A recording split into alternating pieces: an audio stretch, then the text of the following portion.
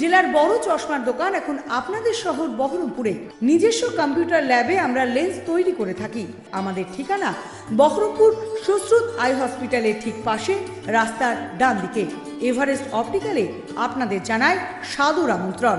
জলঙ্গির একশো একচল্লিশ নম্বর বিএসএফ ব্যাটালিয়নের উদ্যোগে সীমান্তবর্তী এলাকায় বৃক্ষরোপণ কর্মসূচি পালন করা হলো।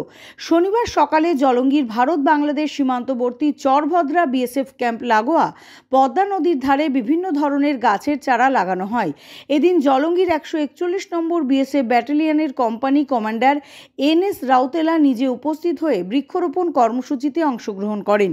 এদিন তিনি নিজের হাতে বেশ কিছু চারাগাছ রোপণ করেন। পাশাপাশি এদিন স্থানীয় স্কুলে ছাত্রছাত্রীদের নিয়ে বৃক্ষরোপণ কর্মসূচি পালন করা হলো। প্রচণ্ড রোদ গরমের হাত থেকে বাঁচতে ছায়াযুক্ত এবং ফলের গাছ লাগানো হয়। সীমান্তের সাধারণ মানুষের সুবিধার্থে চরের মধ্যে রাস্তার দুপাশে বিভিন্ন ধরনের ফলের গাছ এবং ছায়াযুক্ত গাছ লাগানো হয়। প্রতি বছর বন্যার সময় পদ্মা নদীতে ভাঙন শুরু হয়। সেই ভাঙন রুখতে পদ্মা নদীর তীরে গাছ লাগানো হলো। এদিন জলঙ্গির সীমান্তের বিভিন্ন চর এলাকায় তেরোশোটি চারাগাছ রোপণ করা হয়। प्लांटेशन का उद्देश्य ये है कि हमने इस एरिया के अंदर हर साल हम लोग वृक्षारोपण करते हैं तो इस एरिया के अंदर जून, जुलाई के महीने में हमारी बटालियन जो है करीब 8000 पौधे लगाएगी। वैसे पूरे बंगाल के अंदर बीएसएफ करीब तीन लाख पौधे लगाने का टारगेट है।